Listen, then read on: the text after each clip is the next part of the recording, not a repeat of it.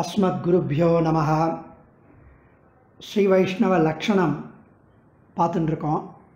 ஸ்ரீ வைஷ்ணவன் வந்து பிறர் கண்ணில் படாமல் தனியாக இருக்கும்போது கூட ஒரு தங்க நகையை பார்க்க நேரிட்டாலும் அவன் புல்லை போல நினைத்து விலகுவானான் அப்படி இருக்கணும் வைஷ்ணவ லக்ஷணம் அப்படின்னு எமக்கிங்கிற சம்வாதத்தில் வருது.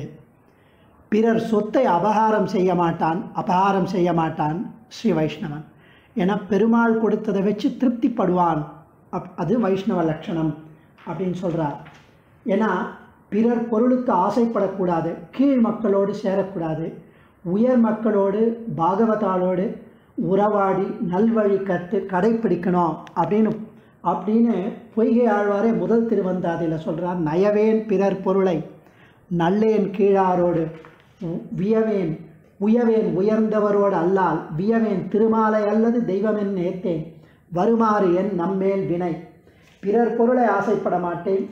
அப்படின்னு அப்படின்றது தான் மெசேஜ் ஆனால் பிறர் அப்படி யார்? அப்படின்னு ஸ்ரீமத் அழிஷிங்க நாற்பத்தஞ்சாம் பட்டம் சொல்கிறார் சகலேதர விலட்சணா பிறர்னா பெருமாளாம் பெருமாளுடைய பொருளான இந்த ஜீவாத்மா நம்ம திருடி வச்சுருக்கோம் அதை ஆசைப்படக்கூடாது அவர்கிட்ட திருப்பி கொடுக்கணும்.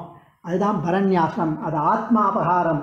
ஸோ ஸ்ரீ வைஷ்ணவனாக இருக்கிறவன் ஆத்மாபகாரம் செய்யக்கூடாது திருப்பி கொடுக்கணும் அப்படின்னு பரநியாசம் செய்யாதவர்கள் அனைவரும் இந்த வர்க்கத்தை சேர்ந்தவர்கள். அதனால் பிறர் பொருளை ஆசைப்பட மாட்டேன் அப்படிங்கிறது ஆழ்வார் சொன்னபடி நாம் சரணாகதி செய்து உஜ்ஜீவிக்க வேண்டும்.